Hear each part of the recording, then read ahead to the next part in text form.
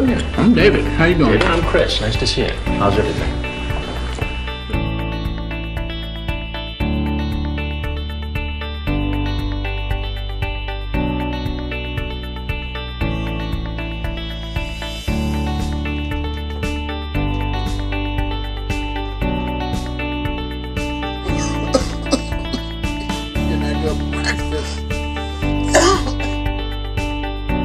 to sit here and judge post facto is um, un-American.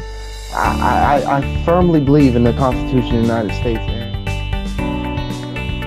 Problem today is too many of you motherfuckers are ready to hand over your motherfucking rights and let them just walk all over you for what? I happen to know law enforcement. My intentions are always to have sex with girls that I'm hanging out with. This is America. This is the United States of America. I am innocent until proven guilty.